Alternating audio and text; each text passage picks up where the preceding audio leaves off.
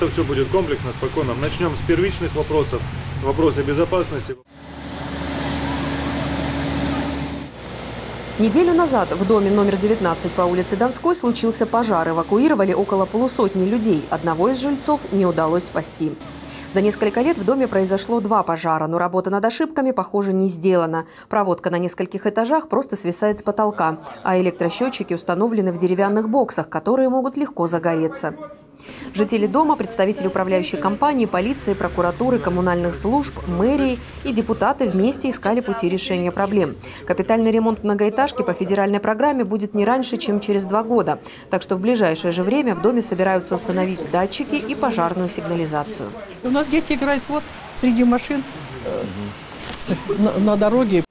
По распоряжению мэра в городе организуют оперативные группы жилищного контроля. Они начнут работу с общежития на Донской. Выявят типовые проблемы и составят план их решения. Особое внимание уделят созданию безбарьерной среды, ремонту подъездов и санитарному состоянию дворов.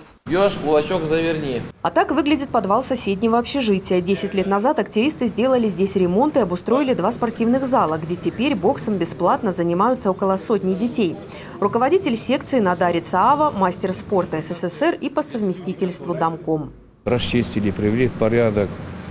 Вот. И сегодня у нас вопрос стоит. В каждом доме можно это делать. Это все зависит от жителей нашего дома. Подобных спортивных залов в Сочи около 40, и их должно стать еще больше, резюмирует мэр.